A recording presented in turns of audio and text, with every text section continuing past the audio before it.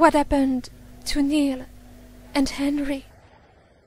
It's not your fault. You can't blame yourself. I don't. I blame you. All this happened because I listened to you. You say good always wins? It doesn't. I didn't grow up in some fairy tale land. My experience is different. That's all I can go on.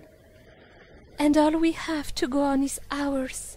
So if you would just let us share our wisdom. I appreciate you trying to be parents, but we're the same age. We have equal amounts of wisdom, and all I want is Henry back.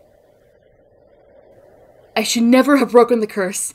I should have just taken Henry and. You're right. Then you'd be together. We missed you growing up, Emma.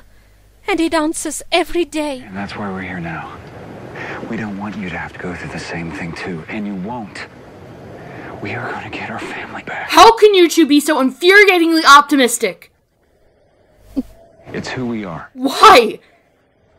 Ever since you got your memories back, ever since you remembered your Snow White and Prince Charming, your lies have. they've. well, they sucked. No. And we found you. And lost Henry! And Neal and countless other people!